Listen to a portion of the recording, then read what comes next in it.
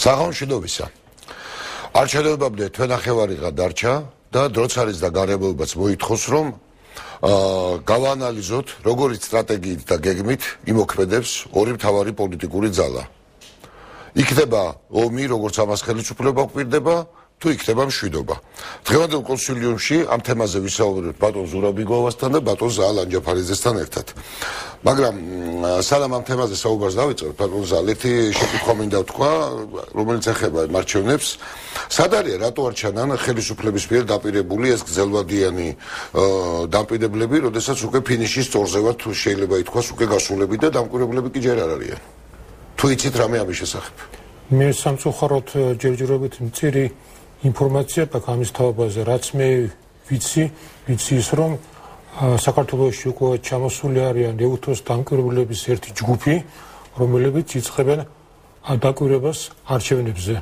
რაც შეეხება გძელვადიან დამკვირვებლებს, რომლებიც უნდა ჩამოსულიყვნენ აგაცილებით უფრო ადრე, ჩვენ ჯერჯერობით ვერ მოვისმენთ ხელისუფლებისგან რამე ესეთი ახსნა გამარტება იმის თაობაზე თუ რატომ ვერ ჩამოვიდნენ ისინი და სავარაუდოდ ალბათ ხელისუფლების წარმომადგენლები უპასუხებენ ამ კითხვას, რომელიც უჩნდება როგორც სამოქალაქო სექტორს, ისე პოლიტიკურ პარტიებს თუ რატომ ვერ შეძლო დაპირება.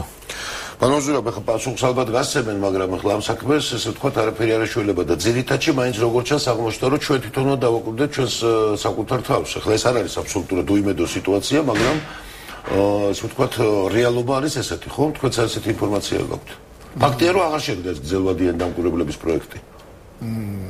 როგორც ჩანს არ შედგა, მაგრამ ამის გარდა ესე იგი ის რომ საკუთარ თავს უნდა დააკვირდეს, საკუთარ თავს უნდა მიხედო, სულაც არ არის ცუდი ფაქტი ესე იგი. თუ ჩვენ ჩვენ თავს კარგად დავაკვირდებით, თუ სწორად დავაკვირდებით და ობიექტურები ვიქნებით, ეს ყველა უცხოურ დამკვირვებლებზე კარგ შედეგს მოგვიტანს შემე აზრით. და როგორც ჩანს მაინც დადგება საკითხი ბალონზორებს სამდოობისა, მაინც როგორც ჩანს რაღაც ტიპის დამკვირვებლები ჩამოვლენ, ამაზე ბევრი საუბარი იყო და უცას დადგება მათ სამდოობის საკითხი. ოხლოს ისტორიაში ყოველთვის ყველა არჩევნების შემდეგ ეს სანდოობის საკითხი დგებოდა ხოლმე და რომელიღაც ხარეს ყოველთვის აგებულ ხარეს როგორც წესი, ესე იგი წარმოიშვებოდა ხოლმე რაღაცა გარკვეული ეჭვები იმის მიმართ რამდენად ობიექტური იყვნენ ეს დამკვირვებლები არ არის გამორიცხული რომ შემთხვევაშიც ესე იყოს. თუმცა ძალიან ბევრი ლაპარაკი იყო იმის შესახებ რომ დამკვირვებლები იქნებიან ძალიან დიდი რაოდენობით და ჩამოვლენ ძალიან ადრე.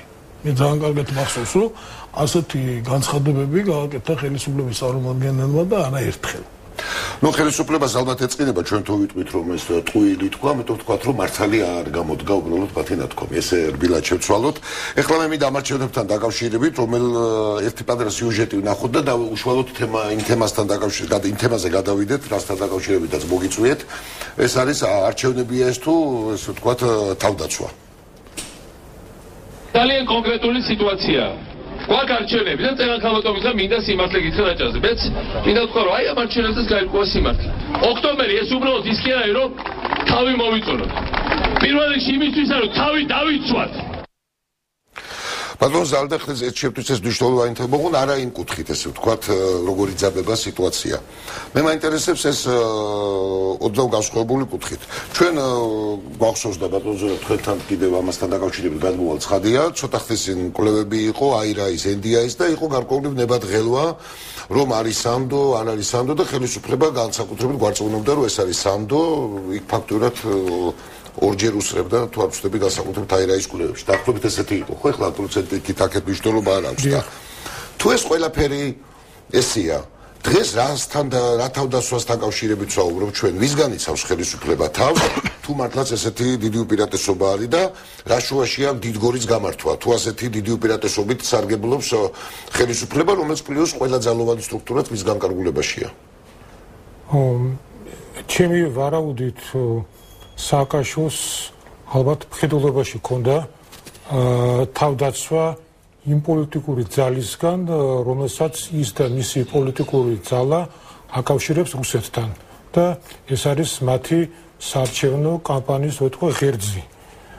მე ვფიქრობ, რომ ის სწორედ ამ თავდაცვაზე საუბრობდა და არა თქვათ თავდაცვაზე იმ კუთხით, რომ მან უნდა დაიცვას თავი იმ ძალისგან, რომელსაც ის კვლევების თანახმად უსწრებს თითქმის ორჯერ. მაგრამ ის ერთი და იგივე ძალაზე ვსაუბრობთ, მეგონი ჩვენ. დიახ, ჩვენ საუბრობთ ეს ერთი ძალის თავს, რომელსაც ორჯერ უსწრებს? ანუ ის მე კიდევ ერთხელ გამეორდები, რომ სააკაშვილი და ნაციონალური მოძრაობა ატარებენ იმ მოსაზრებას, ეს არის მათი წინა საარჩევნო კამპანიისა და ღერძი, რომ ქართული ოცნება ეს არის პრორუსული ძალა. აქედან გამომდინარე, მათი ყველა ქმედება, როგორც ისინი ამბობენ, უნდა იყოს მიმართული იმისკენ და ამის თავაზე გაცხადდა კიდეც არაერთხელ, თუნდაც ეხლა ხან 10 ივლისის მაჟორიტარი კანდიდატების წარდგენაზე, რომ ჩვენ არ დაუშვებ წარსულში დაბრუნებას. ანუ ჩემი შეფასებით ეს ეს ფრაზა რომელიც ახლა გაჟღერდა სააკაშვილის მხრიდან არის ის რომ ისინი აპირებენ თავი დაიცვან პროგრესული ძალებისგან. ჩალგი კითხები და შემდეგ ბატონზურასთან გადავიდეთ. ესე აქამდე ესე იყო ცნობილი რომ დაცვაში დგება უფრო სუსტი და ეხლა როგორ ავითარებასთან გვაქვს ეს საქმე. ნუ მე მგონი რომ ნაციონალურ მოძრაობას ჯერჯერობით თავი სუსტ მოთამაშეთ არ მიაჩნია მაგრამ თავს იცავს. ხო მაგრამ თავს იცავს. და დიდგორიც გამოაცხადა. და დიდგორიც გამოაცხადა. მე მაინც ესე ვთქვათ გონია ხომ არ არის ბატონო ზურაბ? აა ესე ვთქვათ გარკვეულწილად აქ კამაცაც არავინ არ გვიშლის. მაინც აქ სრულიად ნათლად იკითხება ჩემ თვალწინ რომ უნდა თავი დაიცვას და თითქოს რაღაც ალყა შემორტყმულის ვითარება ის ამას ადარებს დიდგორს და ხომ არ არის აქ ასე ვთქვათ, ისეთი სურათი ხო არ იკვეთება, რომ ხელისუფლება რაღაც სხვა კვლევებს ეყრდობა და არა იმ კვლევებს, რომელიც როგორც ჩვენ წავიკითხეთ, აირაი და ინდია, იმიტომ რომ ესე თავდაცვაში და დაცვაზე მოსაუბრე ადამიანი თითქოს არ ჩანს, რომ მაინც და მაინც არ არის ეს ის საუბარი, რომელიც ორჯერ უფრო მეტად უსწრებს თავის მოწინააღმდეგეს. აა, ანუ მე მინდა პატარა პატარა კომენტარი გავაკეთო შენიშნოსავით გავაკეთო. მე თლათ არ ვიზიარებ ზალის ასრომ ეს არის მხოლოდ რუსეთთან დაკავშირებული შიშები. რატომ? იმიტომ რომ ბევრ სხვა ვითარებაში ეს არ იყო მიმართული გარეძალისადმი აგრესია. ძალიან ამ ბოლო ხანებში ბოლო ხანებში მე მაგალითად რამოდენიმეჯერ დავინახე. პრეზიდენტი გამობის და ამბობს ჩვენ ვებრძვი ჩვენ ჩვენ მოწინააღმდეგე ჩვენი ოპონენტები არიან ჩვენი მოსისხლემტრები რუსეთზე ეს როგორც წესი ამას არ ამბობს ხოლმე.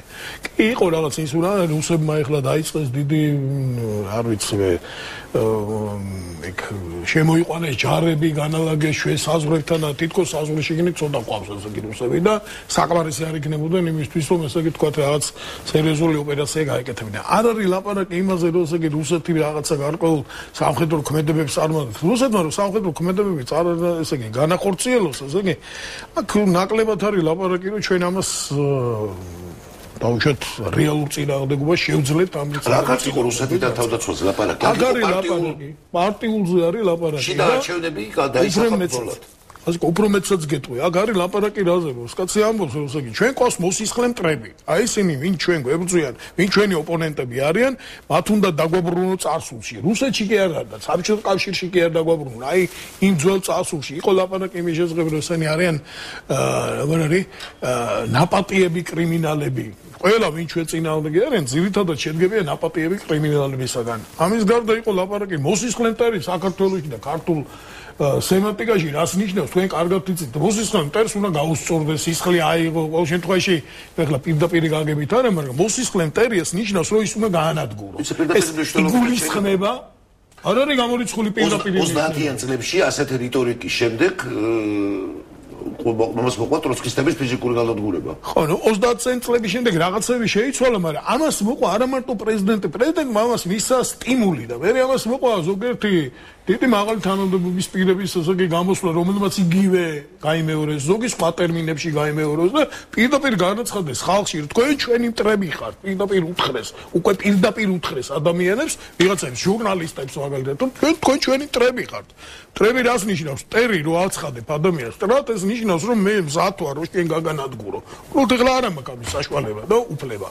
უბრალოდ მეცაც გეტყვით ეხლა მე სამწუხაროდ მიხდება ჩემ ჩემზე ხანდახან არის ხოლმე ეგ რაღაც ნაკვესები და ვადევნებ თვალყურს ასე ვთქვათ დრონიჯის ბევრ ავტორს. და იქ ერთ-ერთი ავტორი ვიღაცა ეგრეთ წოდებული თუ ასე ვთქვათ ესე ესე ესე დაირქვა იმ კაცმა კუ. კაი გებოვნება ქონდა ო ნუ ესეთი ისეთი როგორი რიტორიკა აქვს? ეს კი საოცარი. ეს თვეები გრძელდება უკვე. მე ვაკვირდები და ვკითხულობ და თან ესე გეტყობა ამ საიტის პატრონი უშვებს ამ კულს ესე იგი მთელი ერთი ნახევარი ყოველ შემთხვევაში ამ კულს ესე იგი გამონათქვამებს ეკნობა და ეს კუ ბოლოს ერთი ორი თუ სამი დღის წინ თუ ერთი კვირის წინ მე ვნახე რომ ამობს ეს ტრაბეს რომ ამათ უნდა შინაგანი ორგანოები გამოუღო არ ვიცი ესე სერიოზულად ამბობს ამას ესე კი არა ხუმრობით და იუმორით და ირონიით ამა ჩინაგანი ორგანოები უნდა გამოუღოთ და გავყიდოთ. მაგადგან სხვა ხეირი არ არის. მანამდე ეს ყო ამბობდა რომ ეს ხალხი უნდა დავაყენოთ კედელთან და დავხრიტოთ. ეს ნათქვამია სერიოზულად. და ეს რო სერიოზულად არის ნათქვამი ამას მოყვება მე რაღაცა გარკვეული დასაბუთებები კი, ეს არის ანონიმი, ანონიმი კუარი, მაგრამ ეს ანონიმი ხო ესე ფიქრობს და ამ კუს იმდენი ტაშის დამკვრელი ყავს. ამ საიტზე, ნუ საიტი გასაგებია რაც არის. გასაგებია საიტი რაც არის და რომ ღმერთმა ქნა, ღმერთმა ნუქნას რომ ეს საქართველოს ესე იგი სულცირე ნაწილზე ცოტა მეტი იყოს, მაგრამ ხო არიან ესეთი ხალხი და სამწუხაროდ ესე იგი ეხმიანება აი ამ კუს ესე თქვა გამონათქვამებს უკვე საქართველოს პრეზიდენტის თანამდებობის პირების გამოსვლა. ეს არის ну სულ ცოტა ეს არის მე არ მომერიდება ამის თქვა მოწოდება მოწოდება შინა შინაგანი დაპირისპირებისკენ ქვეყანაში შინაგანი დაპირისპირებისკენ ეს ძალიან მნიშვნელოვანი მომენტია ეს არ არის საკუმარო მომენტი. ჩემზე კარგად მოგეხსენებათ რომ თავისთავად კუები არ არის საშიში მაგრამ ასეთი ტიპის კუები ყველა საზოგადოებაში არიან მაგრამ არიან როგორც ესე იგი ჩაბუდებული ავატყუ აი მათ თუ ნიადაგი მიეცათ მე ეს კუები ძალიან ისე ამოქმედებიან ხოლმე და ვამპირებად ძალიან იულად გადაიქცევენ ამაზე ჩვენ გავაგზავნებთ საუბარს რეკლამის შემდეგ. ეხლა კი რეკლამაა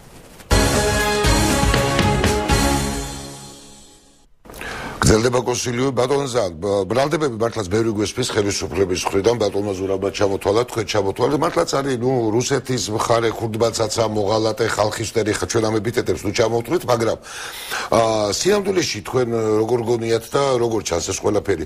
ეს არის თვითონ აი ამ ამით შეშინებული ხელისუფლების თუ ამით ესე ვთქვათ ამისგან თავის მოზღუდვის მოზღუდვა სტილოს ხელისუფლება და უბრალოდ ძალაუფლება ატკბილი და ამის გაშვება არ უნდა და ეს არის საბაბი რომელი უფრო იკითხება. ალბათ ერთის და მეორეც ჩემის აზრით სიტუაციის თავისებურება იმაში მდგომარეობს რომ ჩემის აზრით ხელისუფლება პირველად იგზნო რეალური საფრთხე იმის რომ შეიძლება დამარცხდეს ამ არჩევნებში. იმიტომ რომ პრაქტიკულად პირველად 8 წლის მანძილზე მას დაუპირისპირდა შედარებით ორგანიზებული ოპოზიციური ძალა, რომელსაც გააჩნია როგორც ფინანსური რესურსები, ასევე ყავს საზოგადოებაში პოპულარული ლიდერი. ეს ერთი. მეორე არის ის, რომ ხელისუფლება, რა თქმა უნდა, შეეცდება, რომ შენარჩუნოს ძალაუფლება და ამის თავაზე მიხელ სააკაშვილმა ოფიციალურად განაცხადა, როდესაც ის გამოვიდა პარლამენტში ყოველწლიურად მოხსენების, სადაც მათ თქვა სიტყვა სიტყვით, რომ ნაციონალურ მოძრაობას აქვს ყველა რესურსი იმისათვის, რომ მრავალი წელი დარჩეს ხელისუფლებაში. ერთი წუთით შეიძლება ამასთან ძალეთ მარტო რესურსთან დაკავშირებით არის, მისი ძალიან საინტერესო სულახლესი განცხადება შეგვიძლია ჩვენ მოვისმინოთ, ძალიან პოპულარული და ადვილად გასაგები. მეტი საქმე არა მაქვს, რომ ჩვენი აშენებული ქვეყანა თქვენ გადაგაბარავოთ და გაგრევიოთ. როგორი ქვეყანაში შეიძლება განაცხადოს ეს ლიდერმა და როგორი ტიპის ლიდერმა შეიძლება განაცხადოს იქიდან გამომდინარე რაც ჩვენ ოდნავ წაგვიკითხავს და გვისწავლია პოლიტოლოგიაში. იცით რა არის რა თქმა უნდა ახლა ასეთი განცხადებების ინტერპრეტაცია შეიძლება სხვადასხვანაირად ხა ვიღაცამ ეს შეიძლება მას ჩაუთვალოს როგორც ვთქვათ აი წინასაარჩევნო კამპანიის თქო ფარგლებში წამოსროლელი ფრაზა. უკაცრავად ევროპაში და ამერიკაში თუ ჩაუთვლი და ვინმე ამას წინასაარჩევნო კამპანიაში წამოსროლელი ფრაზა ალბათ არა იმიტომ რომ ეს გახდებოდა ფართო და მწვავე საზოგადოებრივი განხილვის თემა და შეიძლება ამის გამო ამ საარჩევნო სუბიექტს ძალიან სერიოზული ზარალი მიდგომოდა არჩევნების დროს.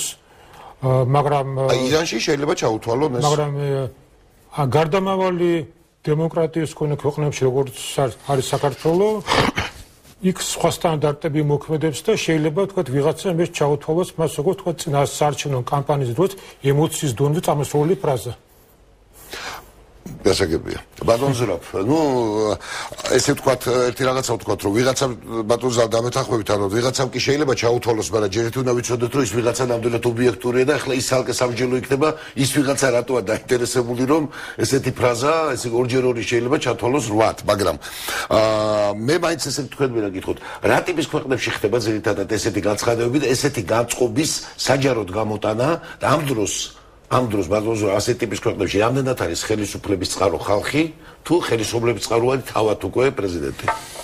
აა მართალი გითხრა ჩემო ვასო მე არა ვარ ახლა ქვეყნების ქვეყნებში პოლიტიკის გატარების, ასე ვთქვათ, ისტორიის სპეციალისტი, მაგრამ რა ტიპის საზოგადოებაზე მიგვითითებს ეს? ეს მიგვითითებს საზოგადოებაზე და ეს აბსოლუტურად ბუნებრივია, რომ ეს საზოგადოება იღებს ამას. თქვენ თუ დააკვირდით და ძალიან საინტერესო იყო სახეები და გაცინებული და ესე ყმაყოფილი ტაშის დამკვრელი ხალხი, რომელიც ამას ტას უკრავდა. მას უთვლიან ამას სიძლიერეთ, მას უთვლიან ამას რაღაც გარკვეულ გონება מחვილობა, თუმცა ის იყო ძალიან საკმაოდ დამაჯერებელი, გულწრფელი და აგრესიული.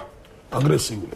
აგრესიულობა კი არის ლიდერისთვისება, მაგრამ მასთან ერთად პოლიტიკოსის სიტყვა ეს არის ქმედება.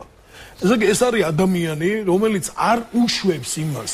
არ უშვებს ეს ნიშნავს ობიექტური იქნება, არა ობიექტური იქნება, ობიექტურის რომ იყოს მისი გარემო, სადაც ის წააგებს არჩევნებს და როგორც ჩანს ის ამას განიხილავს ძალიან სერიოზულად. ის არ უჩვევს იმას რომ გადააბარებს ქვეყანას სხვა ძალას. ეს რა არის რა არის? ეს იმის მაჩვენებელია რომ ეს კაცი მთელი თავისი არცებით თითქოს დემოკრატი თითქოს ლიბერალი არ აღმოჩნდა ეს ადამიანი. როგორ შეიძლება დემოკრატმა კაცმა თქვას რომ ესე იგი ეგღამაკლია თქვენ გადაგაბაროთ ჩემი აშენებული ქვეყანა. რა უბარაკს რა არ ქონდა აშენებული ქვეყანა, არ ქონდა ცათამჯენები. უბარაკს ამბობდა დაახლოებით იგივე ფრაზას. იგივე ამბობდა, რითი დაანთო რომ უბარაკ მე კიდე მეორე საკითხია, მაგრამ ის ადამიანიც არ უშვებდა იმას, რომ ესე იგი მოუწევდა ხელისუფლების გადაბარება, გადაბარება. ამ შემთხვევაში ეს განაცხადი ჩვენი პრეზიდენტის არის ესე იგი დემოკრატიის წინა წინააღმდეგ გაკეთებული ძალიან სერიოზული განცხადება. სხვა შეიძლება იქ იყო ერთი ძალიან საინტერესო ფრაზებია, მხოლოდ იმ ფრაზებს დავაკვირდო მე რომელიც გამოყენებულია, ერთხელ იხუმრასავით ჩვენმა პრეზიდენტმა რომ სარკოზისთან საუბარში რომ საფრანგეთი ესმევა რომ რაღაც ეს კონტექსტი იყო, შემდეგ ის მოყვა ისტორიას, როცა პოლიციელმა თქვა რომ მიხელ სააკაშვილია საქართველოს, თუმცა შემდეგ გამოჩნდა რომ პოლიციელს ეს არ უთქვამს, მან ეს შეთხზა, იმიტომ რომ ეს რაღაც სხვა კონტექსტში უთქვამს სასულიერო პირს. ანუ თაღას მივდივართ იმ კონტექსტისკენ და სიგრძნობა რომ საქართველოს ეს მე ვარ. და მას ეს ესე ვთქვა ერთ-ერთ სათნოებად და სიკეთეთ მიაჩნია, მაგრამ ბალბოზა ვთქვა ესეთ შეკითხვა მაქვს. არჩევნების გამოცხადება დიდგორად. და შიდა პარტიული დაპირისპირების რიგითი არჩევნების მე ამას ხავს თუ შუამ რიგითი არჩევნების გამოცხადება დიდგორად ეს ქვეყნის გაერთიანებას უწყობს ხელს და დიდგორობის იდეის გაგრძელებაა თუ ქვეყნის გახლეშვას მინიმუმ ორ ნაწილად. რამდენად ეს რამდენად ესე ვთქვათ პარალელია რამდენად ზუსტი პარალელია შიდა პარტიული არჩევნებისთვის დიდგორის გამოყენება. რამდენად ზუსტი იქნებოდა ვთქვათ ინგლისის არჩევნებში ვატერლოოთ რო გამოცხადდეს ინგლისის პარლამენტის რომელიმე ლიდერმა რომ გამოაცხადოს ვატერლოოდ. იცით რა არის და საერთოდ წინასარჩენო რიტორიკას აღშვევია ასეთი მწვავე განცხადებების გაკეთება. მე გეთახმები თქვენ რომ ეს ნამდვილად ასეთი ტიპის განცხადებები არ უწყობს ხელს ან ნორმალური წინასარჩენო გარემოს შექმნას და საზოგადოებაში თესავს ასე თქვა ერთგვარი დაძაბულობის შიშის მომენტს თქვა და რა მოხდება იმ შემთხვევაში თუ თქვა არჩევნებზე მოხდა რაღაცა ისეთ რომელსაც შეიძლება გამოიწვიოს სამოქალაქო დაპირისპირება. ანუ ხელისუფლება ჩემის აზრით ცდილობს ესე იგი მუხტის აწევას საზოგადოების გარკვეულ ნაწილში შექმნას დაძაბულობის შიშის სინდრომი რომ ამ არჩევნებზე ჩვენ შეიძლება აგ მოველოდეს რაღაც ისეთი გაუთვალისწინებელი გარემოებები. ანუ საუბრობს როგორც ფრონტის ხაზზე და არ არჩევს. და დაახლოებით ასე არის და შეიძლება ეს იყოს ხელისუფლების პოლიტიკური პიარის ერთ-ერთი კომპონენტი. შეიძლება მე ასე ვარაუდობ. რომ მათ მათ თქვათ აი ასეთი სტრატეგიული ხაზი აქვს, რომ რაც შეიძლება მეტი დაძაბულობა შეეტანოს საზოგადოებაში, რომ საზოგადოება იფიქროს, რომ ეს არის რაღაც ისეთი ათ მეორედ მოსვლა. ეს ბალოზურა, როდესაც აი თქვენ ძალიან საინტერესო რამ ბძანეთ და მე ვფიქრობ, რომ ამაზე ჩვენ უნდა შევჩერდეთ, რომ განურჩევლად არჩევნების შედეგებისა თუ იმ თავითვია გამოცხადებული და იმ თავითვე რწმენა, რომ ჩვენ სწორი ვართ, თავის მომხრეებს ვუნება, რომ ჩვენ ვართ მართლები და ისინი ისეთი ბოროტები არიან. რომ მათ უნდა ქვეყანა დაღუპონ, მაშინ ცხადია რომ მათ რაოდენობას არანაირი მნიშვნელობა აღარ ენიჭება. საერთოდ, იმიტომ რომ თუ ჩვენ უხეშად რო ვთქვა, თუ ჩვენ მართლები ვართ ნამდვილად, სრულიადაც არ შეცვლი ჩვენ სიმართლეს ის რომ ათმა კაცმა რო გითხრა ჩვენ თყვანები ვართ, მით უმეტეს თუ არ წვნებს ლიდერი რომ ეს არის საკუთრო საერთო ბრძოლა და პროტესტხაზი. კი. ასეთ შემთხვევაში რა რა ფუნქცია ენიჭება არჩევნებს? ფუნქცია და ფუნქციას ანიჭებს როგორ ხედავენ არჩევნების პროცესს არჩევნებს აქვს თავისი ფუნქცია მაგრამ ამ რიტორიკით ამ რა ხდება. ალარმიზაცია ხდება სიტუაციის. ხდება ვითარების დაძაბვა. და ვითარებას დაძაბავს ესე იგი არსებული ხელისუფლება და რეალურად არსებული პრეზიდენტი. ეს ხო პრეზიდენტია ამ ქვეყნის. და როცა ის ამბობს რომ ჩვენ მოსხლე მტრები ყავს რომ არავითარ შემთხვევაში არ დავთმობთ ჩვენს ესე იგი ადგილს და ჩვენს აშენებულს არავის არ დაუთმობთ. ეს ეს რა არის? ეს არის ეს არის დაძაბულობის შემოტანა, ეს არის ცდელობა, რომ გააღვივოს ძალიან სერიოზული არ მინდა სიტყვა ვიხმარო, მაგრამ დაძაბულობა და დაპირისპირება საზოგადოებაში, გაავლოს ხაზი ამ საზოგადოებაში და თქვა, ჩვენ და თქვენ. არა აქვს მნიშვნელობა აქ თქვენ რამდენი ხართ. შეიძლება მეტრი იყოთ, მაგრამ ჩვენ ცოტა ვართ, მაგრამ ყველაზე კარგები ვართ და ყველაზე მართლები ვართ და ყველაზე ჭკვიანები ვართ. თქვენზე უკეთესად ვიცით რა გინდათ თქვენ. და თქვენ ეს საერთოდ არ არის საერთოდ. დემოკრატია რა არის საერთოდ? ესე იგი დემოკრატია ეს არის უმეტესობას რა უნდა რა? შეეკითხე შე, კაი დედამამიშვილო, შეიძლება ამათ არ უნდათ ესე იგი რაღაცა ის რასაც შენაშენებ. იქნებ ცოტა სხვანაირად უნდა და იქნებ ის უკეთესია. ჩვენ ხო უმრავლესობისთვის ვაკეთებთ ამას, მაგრამ თუ შენ თვლი რომ ის უმრავლესობა შტერია, არ არის ჯერ კიდე მომზადებული, გონებრივად განუვითარებელი ეს ეს ესეთი სინდრომი ახასიათებს ძალიან ბევრ მართველებს და მართველ ელიტას ხშირად ახასიათებთ. და ბევრი იდეოლოგიური კომპონენტი, რომელიც ნაციონალურ მოძრაობას აქვს, სწორედ მაგას მიუთითებს, რომ მათ უნდათ რაღაცა გარკვეული ოქროს ათასეული შექმნან. და დანარჩენებს მე ზოგიერთი ადაპტირებას გააკეთებს ამ ოქროს ათასეულ ან ახალ სიტუაციასთან. ზოგიერთი ვერ გააკეთებს. ვიც ვიც ვერ გააკეთებს ის აფთიაქში ვერ ყიდულობს სამალს მაგალითად. და შეიძლება დაიღუპოს. მე რა ეს ესეთი ცხოვრების განვითარება. მალთუსიანებთან არ მივდივარ. პარამეზე მივდივარ. ესე იგი ვინც ადაპტაციას ვერ განიცდის, ლიბერტალიანობა ხო ამას უშვებს. ხო უშვებს ამას. ამიტომ არის იდეოლოგიური ზოგიერთი კონცეფტი არა რაღაცა ქცევებში და რეალიზაციაში ძალიან ცუდ შედეგები ვთქვა ეს მოდელი კარგად არის მორგებული უცირესობამ როგორ უნდა გააკონტროლოს და იბატონოს უმრავლესობაზე. ბალონს უმრავლესობა არის სწორედ ის ხალხი, ვისაც ვინც უპირისპირდება და ფრონტი და დიდგორი სწორედ ამას ნიშნავს, რომ ჩვენ ცოტა ვართ, მაგრამ ბევრს რომელიც ჩვენაირად არ ფიქრობს, ანუ პროფესორად ფიქრობს რაღაცას, მართალია ისინი ქართველები არიან, მაგრამ მე რა ისინი არ არიან ჯერ კიდე მომზადებული იმისთვის, რაც ჩვენ ვიცით რომ ნამდვილად კარგია. მოდი ჩვენ დევალე საუბარშიც გაიყვე რომ სიამდვილეში აქ დიდგორი არის ომის სინონიმად იყენებენ და დიდგორი აქ არაფერ შუაში არ არის, დიდგორი ზიდია, რომელიც ჩვენ ვიცით და რომელიც ძალიან სათუთი რამცდებაა და ძალიან მნიშვნელოვანი. და ხლა აქ დიდგორი და ვინაიდან ჩვენ აქ ფაქტობრივად ფრონტის ხაზზე საუბრობთ, არჩევნებს ეს ომი ერქმევა ფაქტობრივად და და არის ერთი რაც მე პირადად გეტყვით, მაფრთხობს მთელ ამ პროცესში და მე ვფიქრობ, რომ მე მარტო არა ვარ არის ერთი სიუჟეტი ვნახოთ და მე ვფიქრობ, რომ სიტყვის მაინც აქვს ბატონო ზალმიშვალობა. აქ არის ნებისმიერ ფასად ამაზეა საუბარი შიდა არჩევნებზე, შიდა პარტიულ გნებავთ ბრძოლაზე. მეხუთე პრინციპი. ეს არის გამარჯვება, ნებისმიერ ფასად გამარჯვება. რამდენი ლიპარით ბაღვაშია უნდა გამოგვიყონონ? იმდენი დავითი დაიბადება. არაფერ შუაში არ არის აქ დავითი არც ლიპარით ბაღვაში და არც დიდგორი. საკუთარ პარტიულ მომხრეებს სადაც სხვადასხვა სიმბოლურია. ჩემთვის ახლა არ იყო შეიძლება გადამწყვეტი რამდენი ადამიანი მივიდოდა მაგრამ სადაც სხვაც არ მიუშვეს მოუწოდებენ გამარჯვებაზე ნებისმიერ ფასად. რას ნიშნავს ეს ნებისმიერ ფასად? ისევ რიტორიკა. აი ვიღაცა რო პირდაპირ გაიგოს ეს ნებისმიერ ფასად რაზეა საუბარი? იცით რა შეასაქმე და რა თქმა უნდა ასეთი ტიპის განცხადებები, როგორც უკვე გითხარით, დემოკრატიულ საზოგადოებაში გახდებოდა ძალიან მწვავე განჯის საგანი და მას, რა თქმა უნდა, ამის გამო პასუხს მოგკითხავდნენ. ეს მოწოდება ხო არა, რაზეც საუბრობდა? შეიძლება ეს იყოს მოწოდებაც, შეიძლება ეს იყოს მომხრეების მობილიზების ერთგვარი ხერხი, მაგრამ ახლა ჩვენ ახლა საუბრობთ წინასაარჩევნო სტრატეგიაზე და მე მახსენდება 1999 წლის საპარლამენტო არჩევნები. აი მაშინაც მოქალაქეთა კავშირი იყენებდა დაახლოებით იგივე სტრატეგიას, ანუ მტრის ხადის შექმნის სტრატეგიას, ოღონდ გაცილებით ნაკლებად აგრესიულ ფორმებით.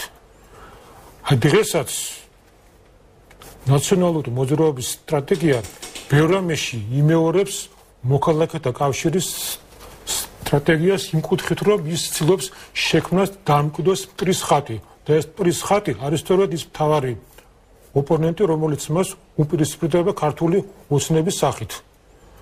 აი ეს არის სწორედ აი სახიფათო ტენდენცია, როდესაც არჩევნები გადაიქცევა, ასე თქვათ, ერთგვარ აი არაჩვეულებრივ საარჩევნო ცივილიზებულ კონკურენციად, არამედ ბრძოლა თქო მტერთან.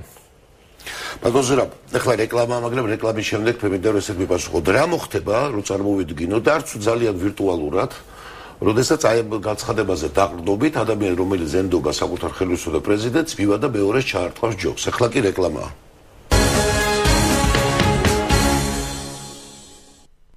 დავრუდი და ჩვენ საუბრობთ რომ ბალბაზურა რას ნიშნავს ეს ნებისმიერ ფასად და როგორ შეიძლება ეს ესე ვთქვათ გადვითარდეს და რა შედეგები შეიძლება ამას მოყვეს მე მაინც მინდა ერთი ნახევარი წუთით შევჩერდეთ იმაზე რომ ყველა საარჩევნო ტექნოლოგია გულისხმობს რამოდენიმე კომპონენტს აუცილებლად. ეს არის საკუთარი ლიდერის ვთქვათ სახის წარმოჩინება მეორე იდეოლოგია, რომელსაც ის ატარებს არჩევნო იმაზე, და ამავე დროს მტრის ხატი, ну, მტრის ხატი ესე შეიძლება სხვადასხვანაირად დაარქვას, მოწინააღმდეგის ხატი, მაგრამ გააჩნია ინტენსივობას და გააჩნია განვითარებას ამ მტრის ხატის როგორ სახეს მისცემდა. როცა შენ მტრის ნამდვილი მტრის ხატს ხატავ და ჩვენი არჩევნები როგორც წესი ყოველთვის იყო გადამწყვეტი ბრძოლა გამარჯვებისთვის საქართველოსთვის გადამწყვეტი ბოლო აკორდი და აი ამის შემდეგ არაფერი აღარ იქნება თუ ჩვენ ეს არჩევნები არ მოიგეთ მაგრამ მტრის ხატის ამ ფორმით და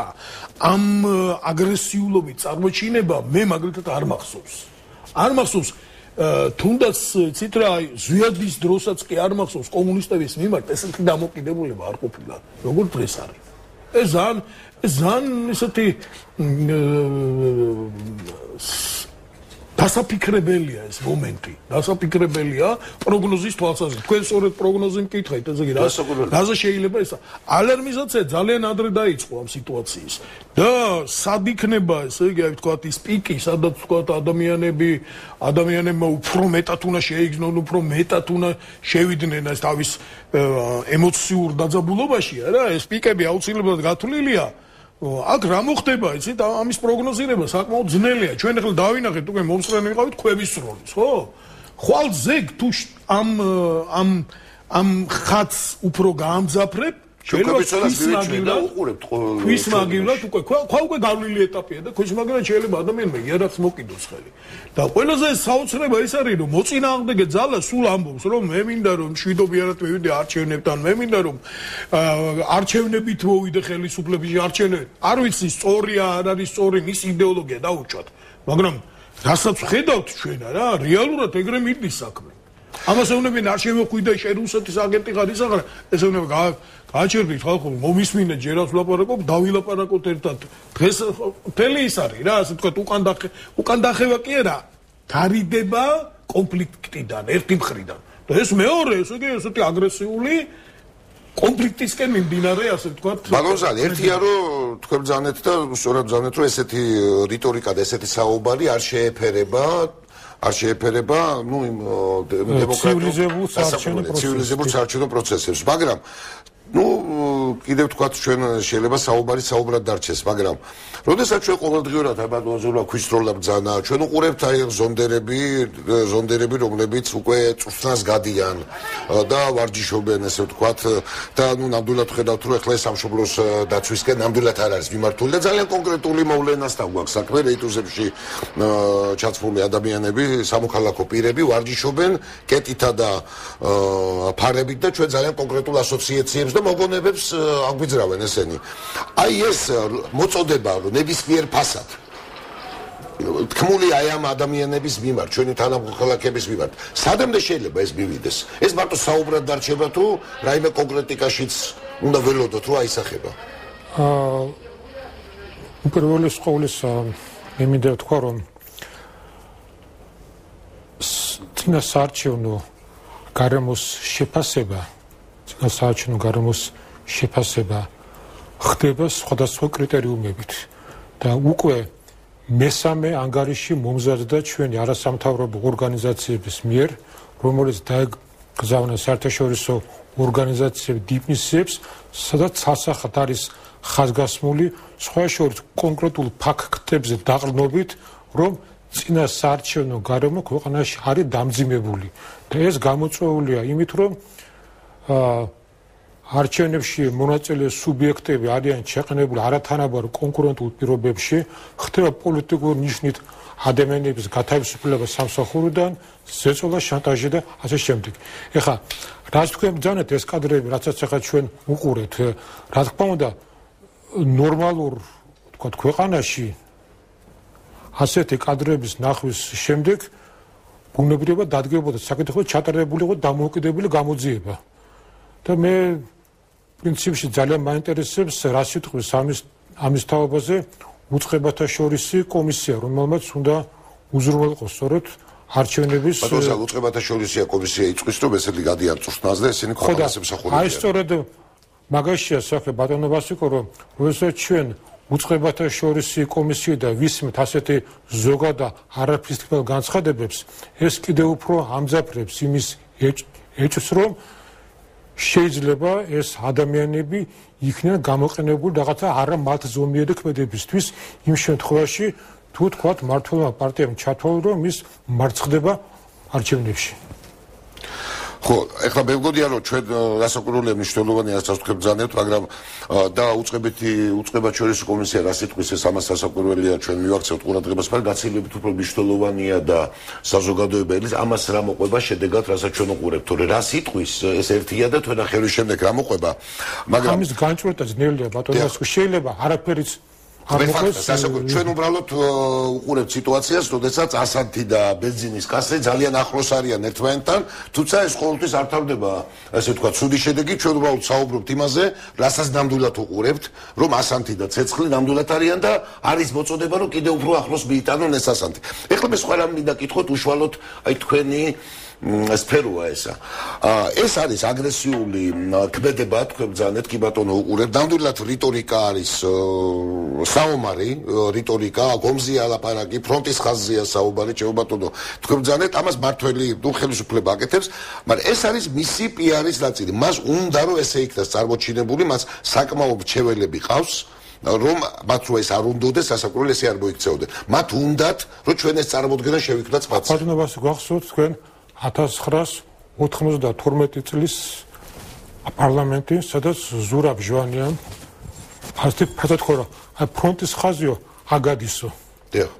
იყო ასეთი ფრაზა. ანუ ეს არის მათი რა ქვია სტრატეგიის ნაწილი, რომ შექმნა ესე იგი ფრონტის ხაზი აქ. ანუ პირველი სხვადასხვა მხარეს არის საზოგადოების მესმის.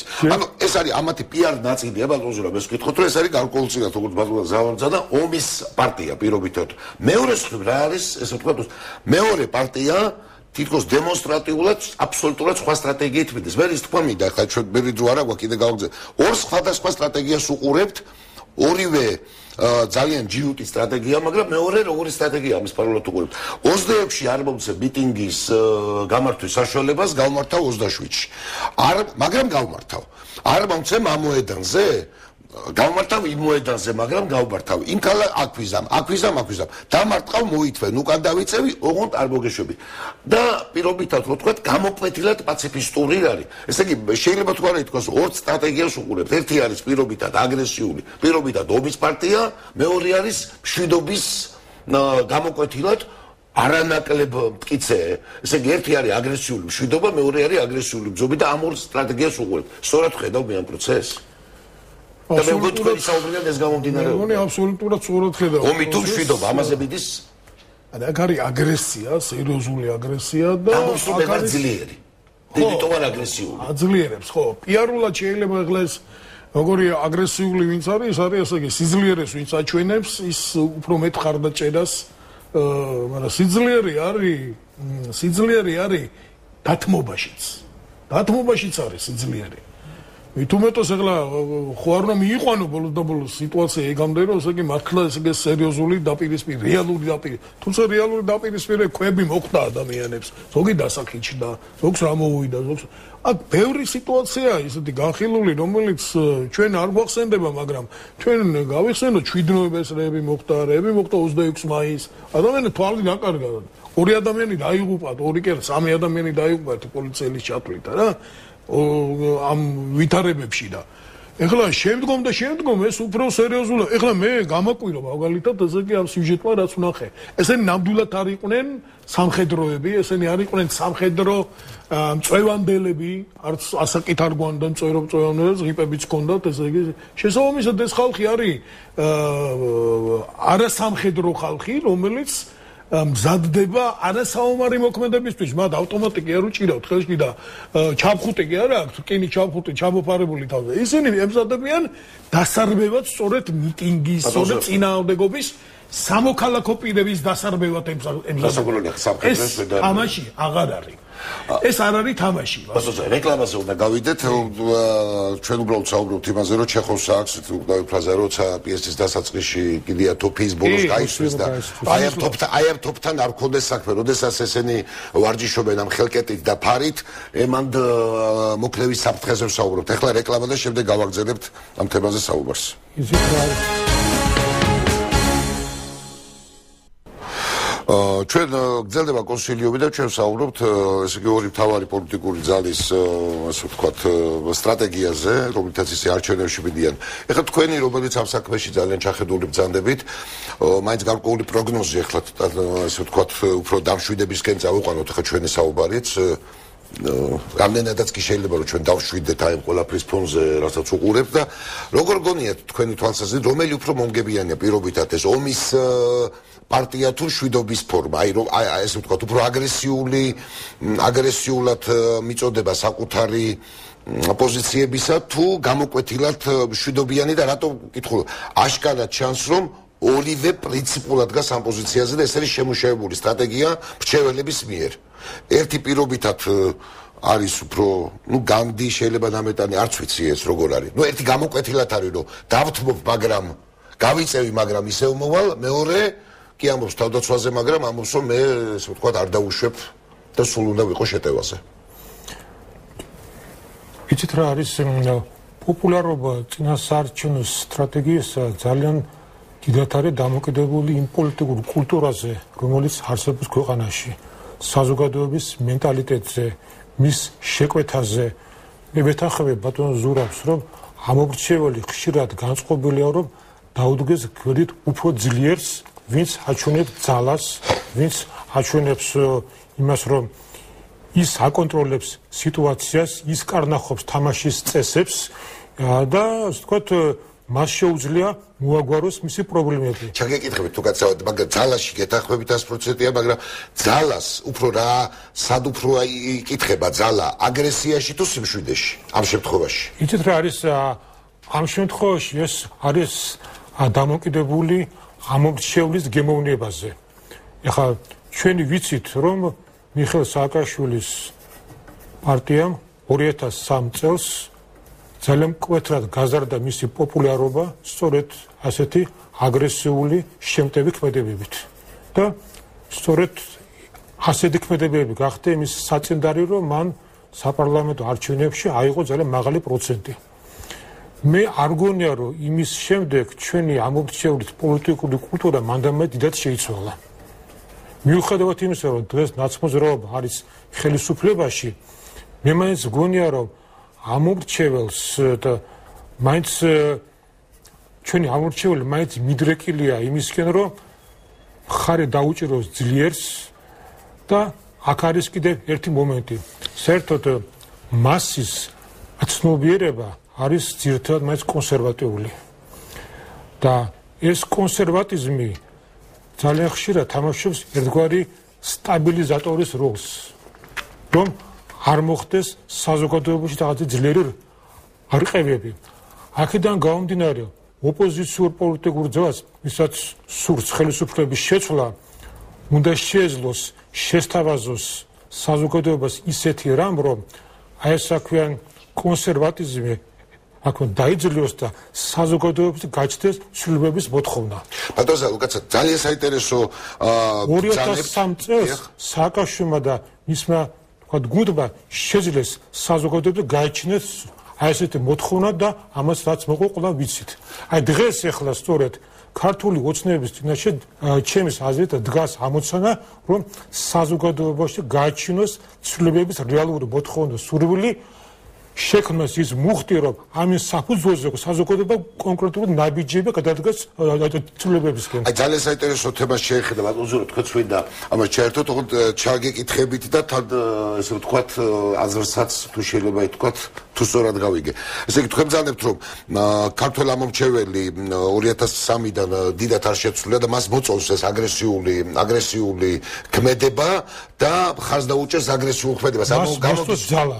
არა, ძალა და აგრესიის მშვიდე სალსაკია და მაშინ თქვენ ესე იგი სახავთ რომ ესე დამუშავდა ეს სტრატეგია იმ კამპანიაში და ოცნებამ უხეშად რო თქვა ამ ლოგიკით რო გამოვა, მაშინ უფრო მაგრა უნდა ისროლოს ქვა, მაგრამ მიუხედავად ამისა, მიუხედავად ამისა ჩვენ და ამ ლოგიკით მოქმედებდა ქართული პოლიტიკა და უცებ შემოდის სრულიად ახალი რამ ტაქტიკა. მიუხედავად იმისა, რომ თითქოს ამ ანალიზით ოცნებამ კიდევ უფრო აგრესიულად უნდა ისროლოს ქვები, ოცნება დემონსტრატიულად არა, ოცნებამ არ უნდა ისროლოს ქვები.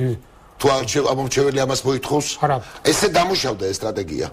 ამორჩეველი ოცნებისგან ალბათ ჩემის აზრით მოითხოვს რაღაც უფრო მედგარ წინამდებობის გაწევას. ეს სულაც არნიშნავს იმას, რომ მანდამე თქვები ის რომ ის მოითხოვს თქვა იმას, რომ იმ უკანონობაზე, იმ უსამართლობაზე მარტო განცხადებები კი არ გაკეთდეს, არამედ რაღაც კონკრეტული ქმედებები მოყვეს.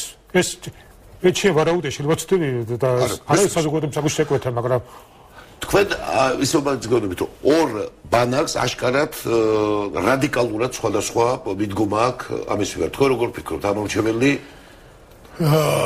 კი, ამორჩეველს აქვს ძალის მიმართ ხარდაჭერის მიდრეკილება და ტენდენცია.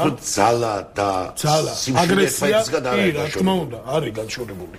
დაშორებულია აგრესია და ძალა არ არის ერთი და იგივე რამე. აგრესია შეიძლება გამოავლინოს სუსტმაც და ძლიერი როგორც წესი არის წყნარად და მშვიდად. და ჩვენ ხედავთ რეალობას როგორც, ასე იგი ადამიანები უბრალოდ პოლიტიკური ძალა, რომელიც ხელისუფლებაშია, ებძვის, ნუ მაგალითად თეფშების გავრცელებას, ინფორმაციის გავრცელებას ებძვის. ძალიან მარტივი ლოგიკაა რა, უმარტივესი ლოგიკაა. თეფშები რას აღწელებენ? რაღაც საწინააღმდეგო ას, ხო?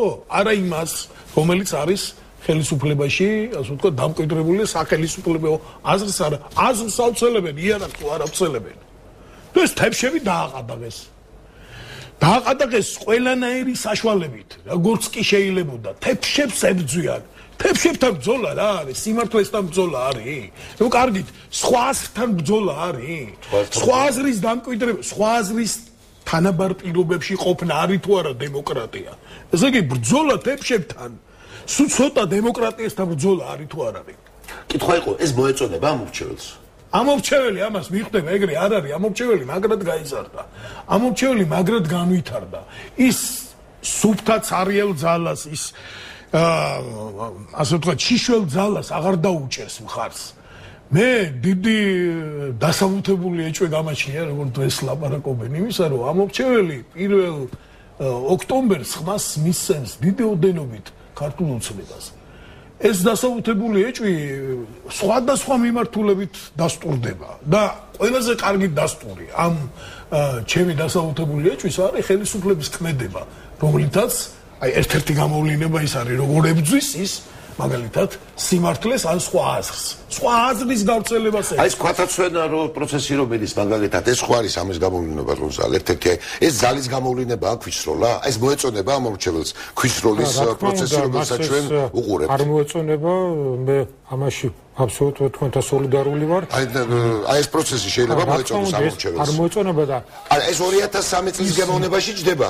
ის 2013 წლის გამეორება. მაგრამ ამ შემთხვევაში სიტუაცია არის განსხვავებული, რომ ქართული ოცნება ამ შემთხვევაში არის ერთგვარი აი ჩაგრულის როში. აი მაშინაც ნაცმოძრაობა იყო ჩაგრულის როში, ესე იგი ისინი სცემეს აქვე ბათუმში, ისინი თქვა დარბიეს იქ მარნეულში და აი სამართლიანობისთვის მებრძოლის იმიჯი დღეს არის ქართული ოცნების მხარეს რომ მას უყადაღებენ თეფშებს რომ არაძლევენ ინფორმაციის მიტანის საშუალებას მოსახლეობამდე ებძვიან ყველა ასეთი ადმინისტრაციული რეპრესიული რესურსებით და სწორედ ამან შეიძლება გააჩნოს ამ მრჩეველში გარკვეული სიმპათია ამ პოლიტიკური ძალის მიმართ. მაგრამ ეს იქნება ეს იქნება ეს რა პროცენტი იქნება ამორჩევლის ამის თქმა თორთულია ამ ეტაპზე მე მაინც გონია რომ ეს ჩვენ როცა ვსაუბრობ ჩვენ მრავალსაუკუნე კულტურაზე ეს იმაშიც უნდა გამოიხატოს თუნდაც რომ შეუძლებელია ჩვენ ამორჩევას მივაყენოთ ახლა ის შეურაცხყოფა რომ მას ქვის როლა მოწონდეს და